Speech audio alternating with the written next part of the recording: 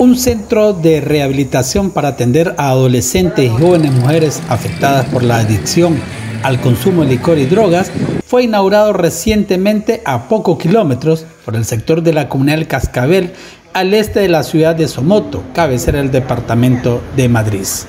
Como fundación El Alfarero eh, funciona como un centro de rehabilitación en el en Mocotal, entonces eh, solo es de varones exclusivamente pero también se dio la, necesidad, se dio la necesidad de, de que habían chavalas con problemas de adicciones también.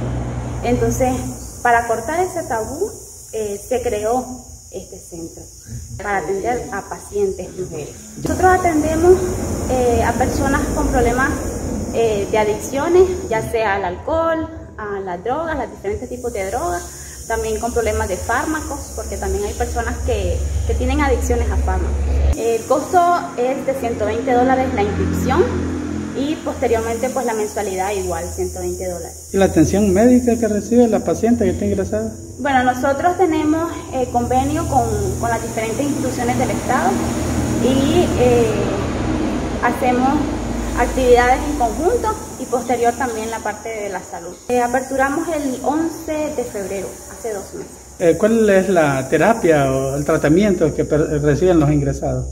Bueno, nosotros tenemos un, un plan de actividades eh, entre ellas están las, diferentes tipos de terapias, terapias ocupacionales, eh, grupales, las individuales también, y principalmente pues la espiritual, porque somos un centro cristiano. Nosotros esperamos que este centro tenga mayor auge para poder ayudar a las personas, principalmente pues en este caso a las mujeres con problemas de adicción. ¿Y cómo fue que nació esta iniciativa, este centro?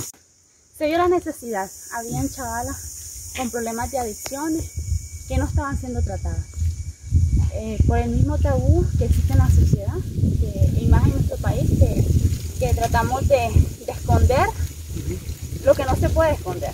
Entonces pensamos que, solo los varones pueden estar en un centro de rehabilitación, pero no es así. También hay niñas, hay chavalas, hay adolescentes, hay mujeres también adultas que tienen problemas de adicción y no están siendo tratadas. Entonces, más que todo por eso nació esta iniciativa. La ciudad de Somoto, cabecera del departamento de Madrid, les informó William Ragón Rodríguez.